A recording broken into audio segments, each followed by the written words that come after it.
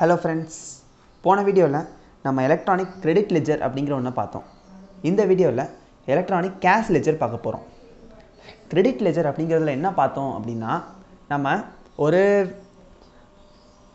பழைய ப நம்ம பழைய பர்ச்சேஸ் பண்ணதுக்கு ஜிஎஸ்டி கட்டியிருப்போமா ஒரு அமௌண்ட் ஆஃப் ஜிஎஸ்டி இப்போ எக்ஸாம்பிள் ஒரு சப்ளையர் வந்து ஹண்ட்ரட் ருபீஸ்க்கு வந்து பர்ச்சேஸ் பண்ணியிருக்காரு அப்படின்னா அவருக்கு அந்த ஹண்ட்ரட் ருபிக்கு ஜிஎஸ்டி கட்டியிருப்பார் அந்த ஜிஎஸ்டியோட கிரெடிட் வந்து நமக்கு வந்து எலக்ட்ரானிக் கிரெடிட் லெஜரில் இருக்கும். பேலன்ஸாக இருக்கும். அது credit ledger electronic cash ledger இந்த எலக்ட்ரானிக் கேஷ் லெஜரில் என்ன இருக்குன்னு பார்த்தீங்கன்னா ஜஸ்ட்டு நம்ம என்ன சொல்கிறது நம்ம உள்ள நம்ம பணம் நம்ம கொடுக்கணும். நம்ம ஒருத்தவங்களுக்கு பே பண்ணணுங்கிறதுக்காண்டி நம்மளோட அக்கௌண்ட் பேலன்ஸ்லேருந்து எடுத்து இந்த எலக்ட்ரானிக் கேஷ் லெஜர் அப்படிங்கிற ஒரு வேலெட்குள்ளே போடுறோம். இது example similar to Paytm wallet எல்லாரும் யூஸ் பண்ணியிருப்பீங்க உங்களோட பேங்க் அக்கௌண்ட்லேருந்து பணத்தை எடுத்து பேடிஎம் வேலெட்குள்ளே போட்டு யூஸ் பண்ணுவீங்க.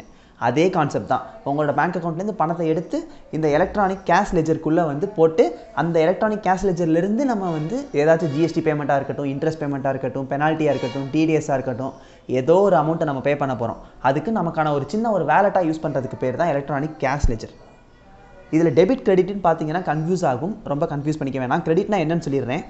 கேஷ் லெஜருக்கு பணம் எந்தெந்த மூலமாக வருது? சோர்சஸ் இந்த கேஷ் லெஜருக்கு பணம் வந்து எங்கெங்கேருந்தெல்லாம் வருதோ அது ஃபுல்லாக கிரெடிட்டு அந்த கேஷ் லெஜரை வச்சு நம்ம என்னென்னலாம் பேமெண்ட் பண்ண போகிறோம் நம்மளோட யூட்டிலைசேஷன் ஆஃப் கிரெடிட் என்ன?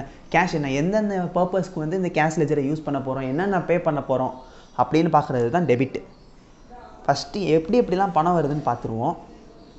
எவ்ரி டெபாசிட் மேட் டுவர்ட்ஸ் நம்ம வந்து பணத்தை எடுத்து இதில் டெபாசிட் பண்ணி வைக்கிற எல்லாமே வந்து பணம் உள்ளே வருது.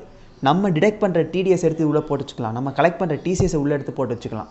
அப்புறம் டெபிட் பார்த்திங்கன்னா நம்ம வந்து நம்மளோட லைபிலிட்டி இருக்கும்ல.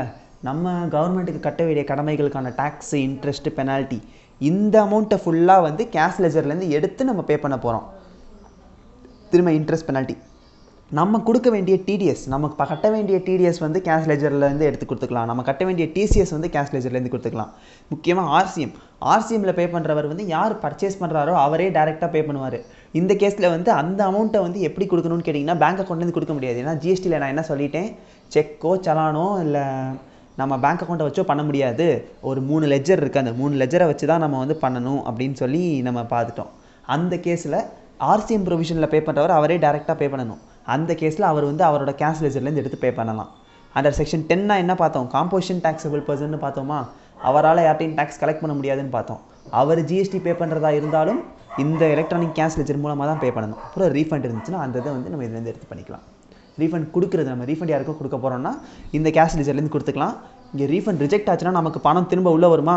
அந்த கேஸில் அந்த ரீஃபண்ட் வந்து நமக்கு வந்து credit to the ledger that's all friends இதுதான் எலக்ட்ரானிக் கேஷ் லெஜருக்கான ப்ராசஸ் இந்த கேஷ் ஜென்ரேட் ஏதாச்சும் டவுட்ஸ் இருக்குன்னா கமெண்ட் செக்ஷனில் கேளுங்க. And thank you